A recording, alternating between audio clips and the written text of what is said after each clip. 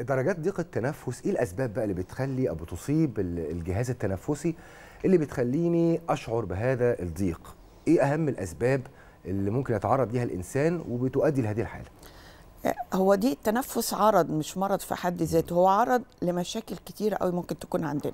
يعني مشاكل في الجهاز التنفسي ممكن تعمل ضيق تنفس مشاكل القلب مشاكل المعدة التهابات المعدة وال- والارتجاع في المريء آه، مشاكل القولون أو الانتفاخ ممكن تعمل اضطرابات الغدة الدرقية الأنيميا آه، مشاكل في الميتابوليزم بتاع الجسم نفسه حمضية الدم وكده. فهو عرض كتيرة. النفس. كل ده يأثر ويعمل ضيق نفس. طيب الف الفكرة بتاعت إن آه، الواحد لما يبتدي يحس إن هو مش عارف يتنفس أو أو أو مضغوط زيادة فيبتدي يحاول يتنفس كتير كتير كتير كتير علشان يعرف ياخد نفسه أو أعصابه تهدى. ده ممكن بدل ما يبقى يجيب نتيجة كويسة يجيب نتيجة عكسية؟ آه طبعا.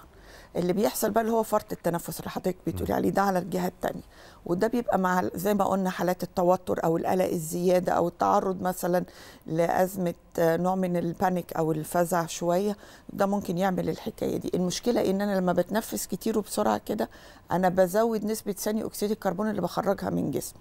ودي برضو بتعملي مشاكل بصورة تانية.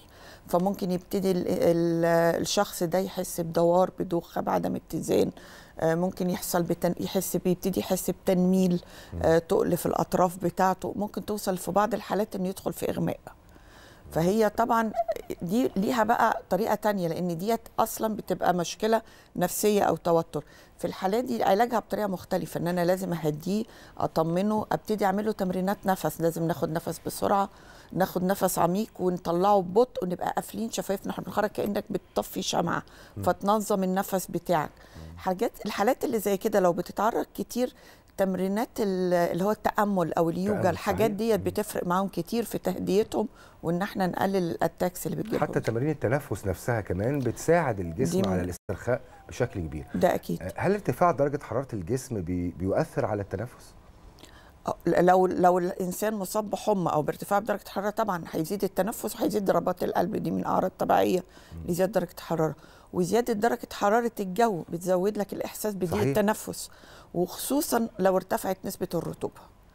يعني عادة حتى لو أنت في نفس المكان بنفس درجة الحرارة بس مكان الرطوبة فيه أعلى هيبقى الإحساس بضيق النفس في المكان اللي فيه الرطوبة أعلى بكتير من المكان اللي فيه حرارة عالية ولكن الجو جاف إلى حد ما.